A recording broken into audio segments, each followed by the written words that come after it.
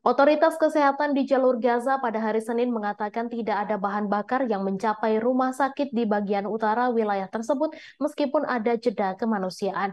Bahan bakar yang sampai ke kota Gaza dan wilayah utara Gaza berjumlah kecil dan diterima oleh Badan Bantuan dan Pekerjaan PBB untuk pengungsi Palestina untuk mengoperasikan sumur air di dalam kamp pengungsi. Munir Alburs, Direktur Rumah Sakit di Gaza menyampaikan hal tersebut kepada Anadolu Agency. Alburs kemudian kemudian segera meminta bahan bakar dan obat-obatan untuk rumah sakit Gaza. Ia menjelaskan bahwa yang sampai ke rumah sakit di Gaza dan Gaza Utara adalah satu kontainer berisi 100 tempat tidur yang diserahkan ke rumah sakit Indonesia. Pada Senin pagi, otoritas penyeberangan Palestina mengatakan bahwa sekitar 150 truk bantuan memasuki Gaza pada hari Minggu. Bantuan itu termasuk tujuh truk bensin sebagai bagian dari ketentuan jeda kemanusiaan yang disepakati di Gaza.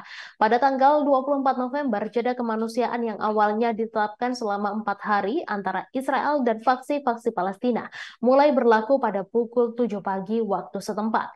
Perjanjian jeda kemanusiaan tersebut mencakup pembebasan 50 tawanan Israel dari Gaza dengan imbalan pembebasan 150 warga Palestina selama gencatan senjata empat hari serta masuknya ratusan truk bermuatan bantuan kemanusiaan, bantuan medis, dan bahan bakar ke seluruh wilayah Gaza.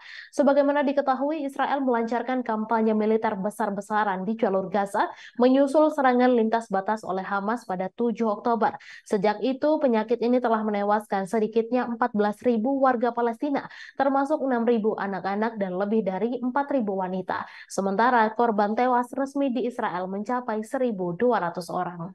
Download Tribun X sekarang, menghadirkan lokal menjadi Indonesia.